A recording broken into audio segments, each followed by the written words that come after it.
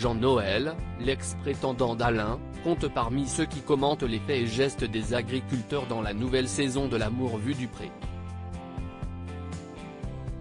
Il est revenu avec émotion sur son passage dans l'émission, qui a changé sa vie.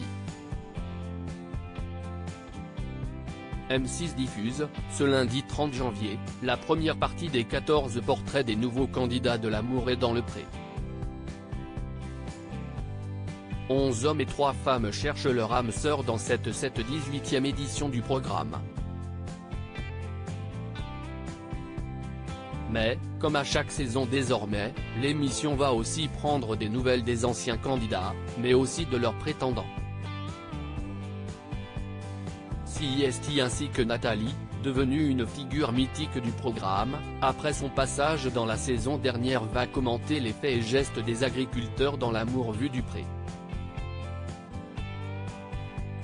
Elle partagera son canapé avec Jean-Noël, qui avait tenté sa chance l'année dernier auprès d'Alain et ému les téléspectateurs. Jean-Noël avait perdu une dent avant son passage dans l'émission Coup dur pour le prétendant, il s'était présenté à l'Auvergnat avec une incisive en moins.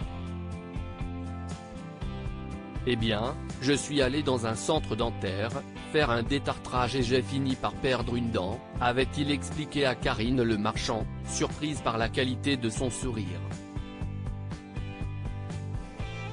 Après quelques jours à la ferme, Jean-Noël avait été finalement éconduit par l'éleveur de l'Allier, qui lui avait préféré son rival. Une nouvelle qui l'avait beaucoup attristé. Pourtant, il conserve aujourd'hui un excellent souvenir de son passage dans l'amour et dans le pré. Ça a été une super, super expérience pour moi, parce ça m'a apporté beaucoup de choses.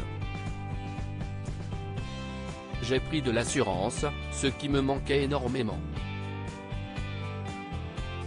Et puis, ce qui me fait plaisir, si est que finalement je me suis rendu compte que j'avais une certaine valeur, se réjouit-il. Il aspire à trouver l'amour désormais, on lui sourit dans la rue et des personnes viennent vers lui pour lui demander des photos. Les gens me disent que je suis quelqu'un de super touchant, d'entier. Je me suis rendu compte que finalement j'étais quand même aimé et si est super touchant, confie l'ex-prétendant d'Alain, les larmes aux yeux. Même si moi, je n'aille pas trouver l'amour, ça m'a apporté énormément de choses, indique-t-il. Il invite d'ailleurs les téléspectateurs à ne pas hésiter à écrire aux agriculteurs, avant d'exhiber fièrement son nouveau sourire. J'ai fait mon ravalement, j'ai toutes mes dents, constate-t-il. Désormais, il aspire à trouver l'amour. À lire aussi voilà enfin mon nouveau sourire. Jean-Noël, l'amour est dans le pré, annonce une grande nouvelle sur Instagram, photo à l'appui.